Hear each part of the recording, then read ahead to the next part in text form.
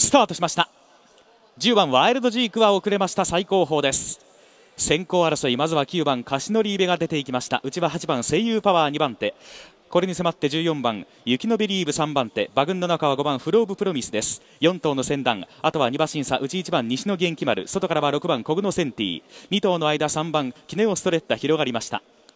あとは12番 KG 福娘。1馬身差4番ヤマトブライアン。ここまでが集団で。あとは3馬身遅れまして3頭広がっています。内は10番ワイルドジーク。中団やや後ろに挽回していきます。外から上がっていく11番フォーウィラー。あとは15番ブルーボサノヴァ。あとは7馬身ぐらい離れまして7番のオールマイラブが追走しています。2馬身遅れて16番チリペッパー。内をかわしていった2番ケイエイボヌール。最後方3馬身差13番トーカイシンボル。34コーナー中間から4コーナー。前の争いは8番セイユウパワーわずかに先頭か。第4コーナーカーブ。並んで9番カシノリーベ。直線コースに入りました。直後に6番コグノセンティーが並びかけます。そして馬群の中からは14番ユキノビリーブ。内からは5番フルオブプロミス。広がっていますがわずかに6番コグノセンティーか。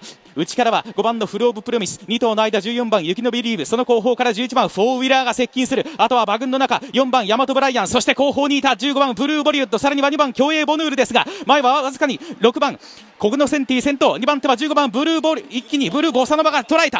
15番ブルーボサノバ先頭2馬身リードを取って1着でゴール。